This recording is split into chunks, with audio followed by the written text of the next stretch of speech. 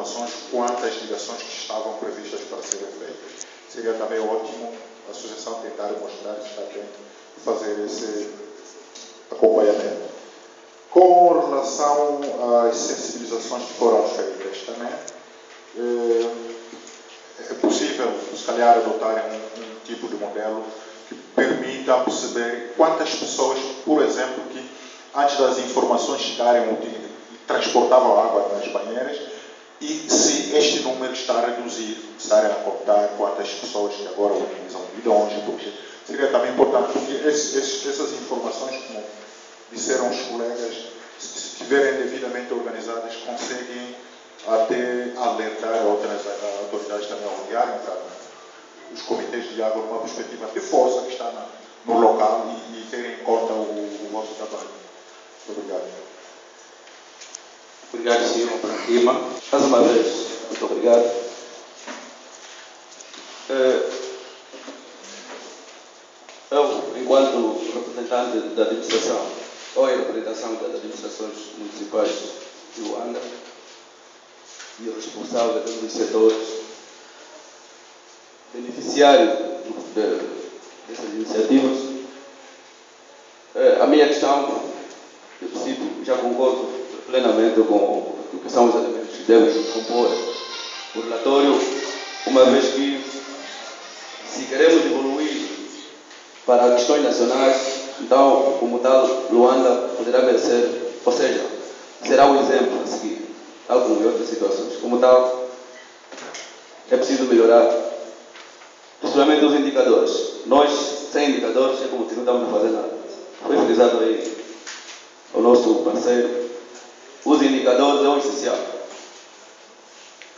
Bom, mas uh, a minha questão é a seguinte. Uh, olhando bem por esse, por esse relatório e tratando-se de um encontro de balanço da província de Luanda, a província de Luanda não são só três municípios.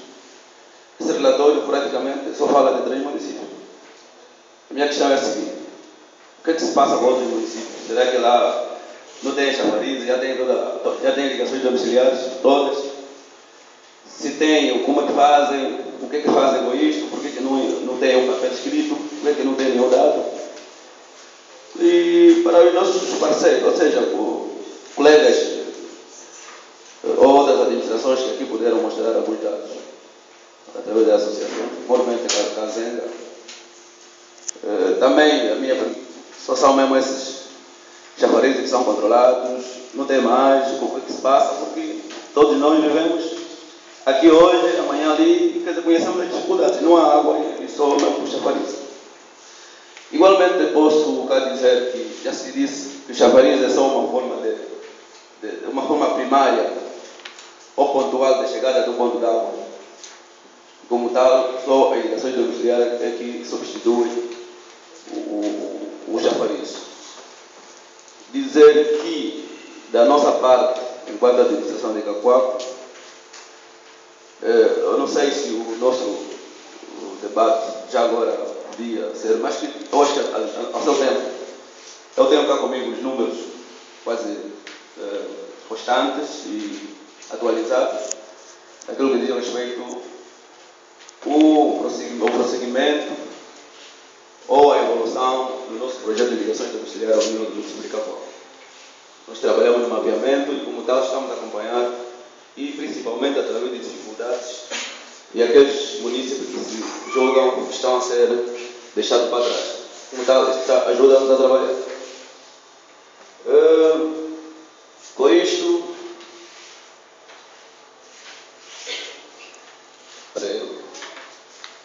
bem como se olharmos um bocadinho no relatório, nós recuando um bocadinho na página 6, eu penso que se nós quisermos melhorar ou contribuir para alguma coisa, o ideal, para além de termos visto o, o, o que é o, o principal de alguns indicadores, o que, é que as pessoas são capazes de fazer e podem fazer mais. Bom, uh, na página 6, ponto 3, que são as dificuldades, é aqui onde se exige a nossa temática. Olhando bem na página 6, ponto 3, circunstâncias, nós poderemos não falar de números, mas essas dificuldades servem para a nossa discussão. E, cabalmente, está saindo com, com o relatório, com os indicadores, tal como foi utilizado, formas a melhorarmos e, tal como sabemos, amanhã Luanda será, será, a ele será pedido essas associações para que mostrem as outras províncias. Já disse há pouco tempo que o, o Executivo está agora a trabalhar eh, na, na feitura ou na organização de empresas provinciais de água como de energia. Isso significa que lá também teremos essas associações. Ninguém sabe que modelos, porque para além das províncias que já têm vindo a beneficiar de pequenos pontos de chafarizes, ou seja, alguns pontos de água através de chafarizes ou furos, eh, ao evoluir para, para, para empresas provinciais, a exemplo da EPAL, bem como a IDEL, no caso, então significa que esse exemplo de Luanda, da mesma, ao, ser necessário. Será o exemplo de Luanda, é relatório, e será exemplo de pessoas que trabalharam nesses, eh, ou que puderam trabalhar nesse exercício. Portanto, é preciso melhorar isso. Aqui, com a contribuição de todos, ninguém pode se achar que é sábio. O sábio aqui tem que mostrar capacidade do que bem sabe fazer. Vamos criticar para melhorar. Mas é aqui podemos ter as cabeças a funcionar, os sábios mostram que é assim que deve ser feito. Todos os dias temos que aprender alguma coisa, ninguém pode ter receio de, de aprender alguma coisa. Portanto, eu quero simplesmente reforçar que vamos, humilhação no debate, de convergirmos para que o documento seja melhorado. Mas eu, na mesma, eu lanço o meu repto para que me seja respondida a questão de outros municípios. Como gere, quem são, andam aonde, porquê, pelo menos essas pequenas perguntas. Que para depois irmos, fazemos uma súmula e o relatório ser, pelo menos se, se é o primeiro ano que se possa ter esse, um relatório mais, mas é melhor porque cada ano temos que melhorar. Muito obrigado. Se calhar não devia ser essa lógica, né? nós estamos a falar mais do que os, os que vivem um problema, né? os próprios que lidam com os chafarizes. E acho que se calhar devemos pedir desculpa, mas é para endossar a conversa. Temos muitos problemas em começar a conversar, né? Estamos só a, a chamar o apetite, como se diz. Uh, colegas, estão de parabéns pelo trabalho. Prestar conta não é fácil, né? Isso dá sempre dor de cabeça e é sempre bom quando ao nível local começamos a fazer esse exercício. A minha contribuição tem o seguinte: na parte da introdução, os colegas falam que estão a acompanhar o, o programa Água para Todos de 700 mil ligações. Então, se calhar seria bom especificar se essas 700 mil ligações é para Luanda ou é para todo o país, para a gente ver também qual é o nosso esforço de engajamento. Porque 700 mil ligações do jeito que está, ficamos sem entender se é para Luanda, se é para todo o país, para nós nos situarmos. Depois, o meu conselho está em, às vezes, utilizarmos uma linguagem um pouco mais de desenvolvimento. Aí tem muito desmantelou, desmantelou. Me parece que não é muito a nossa linguagem essa desmantelar. Né? Podemos entender o que está se dizer, mas em desenvolvimento acho que não é uma linguagem correta. Né?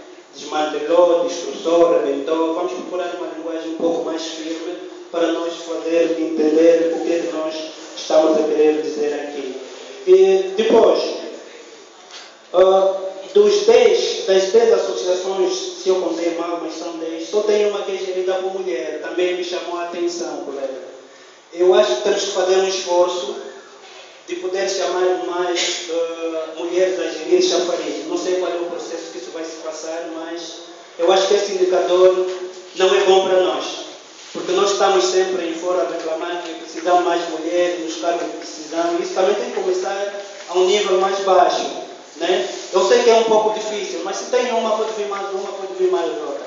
Eu acho que temos que fazer um esforço, os colegas que estão no processo de engajamento, a, a lidar com esta, com esta situação que é importante.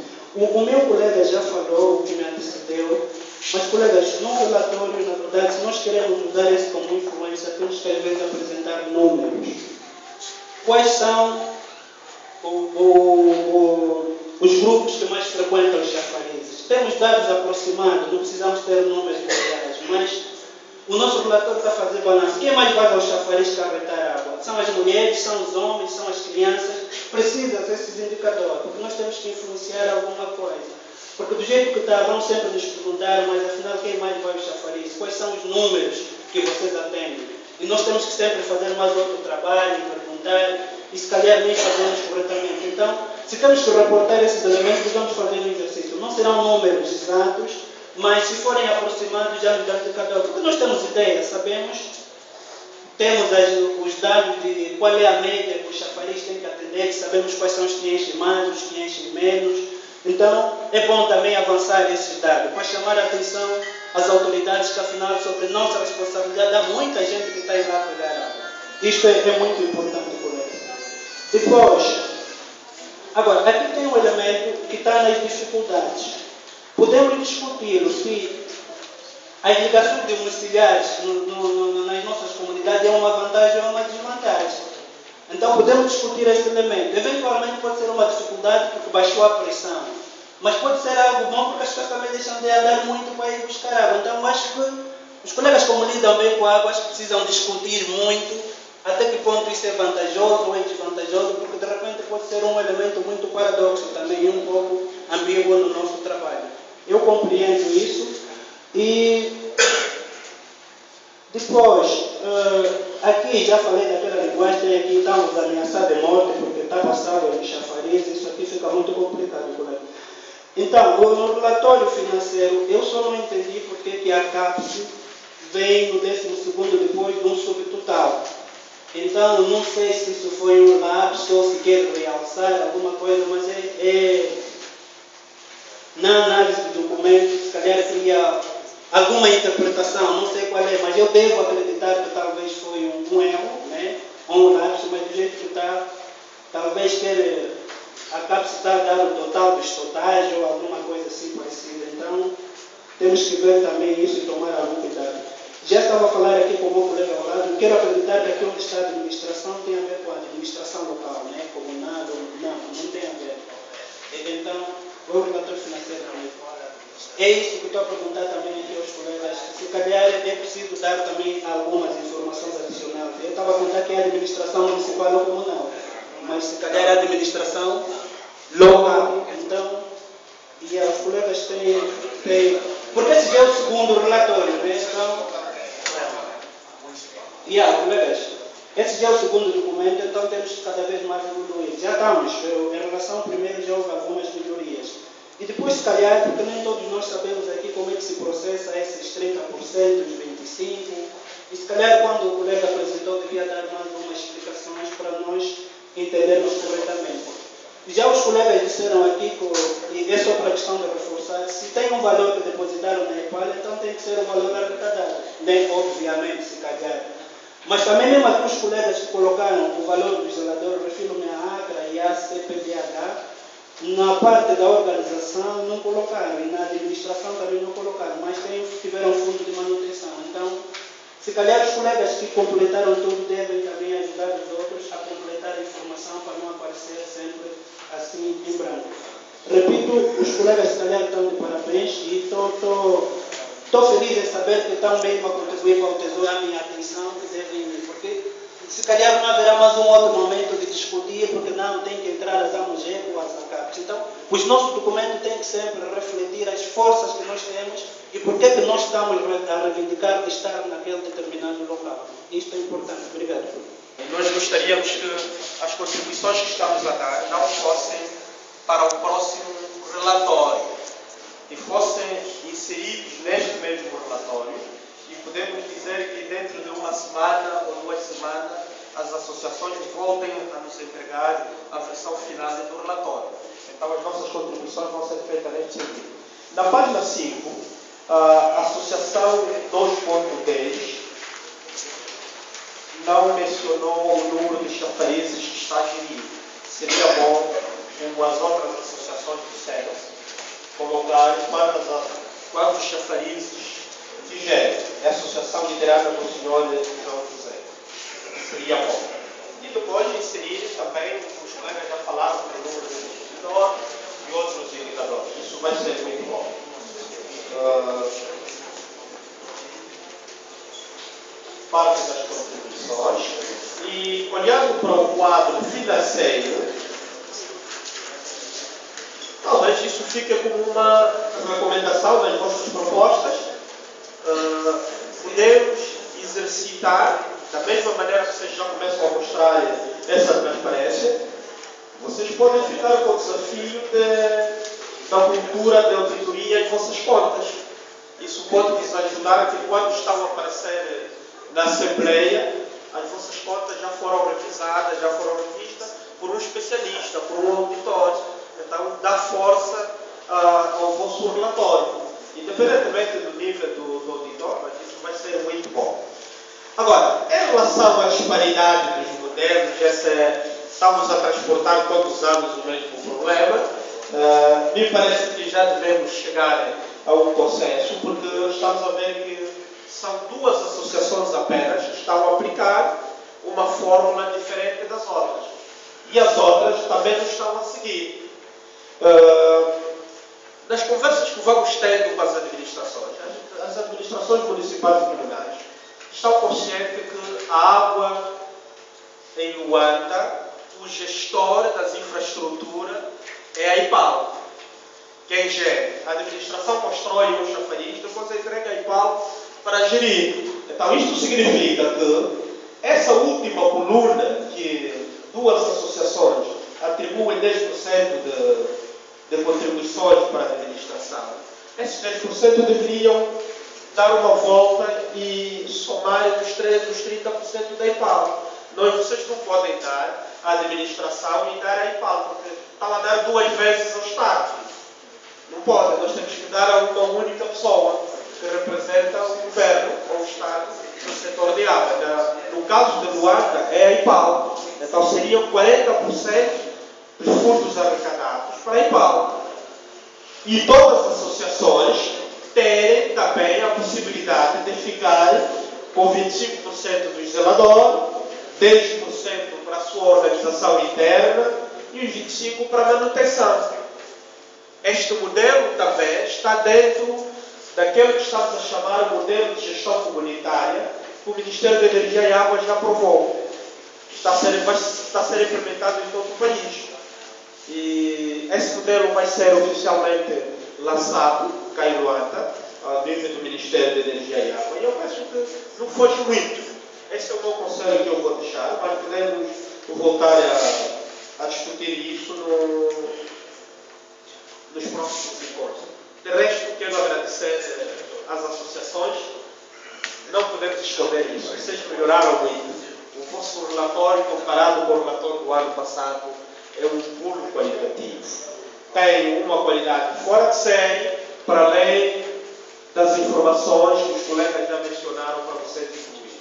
Se incluírem essas informações, temos um relatório bom para apresentarmos a qualquer instituição, a qualquer parceiro. Obrigado.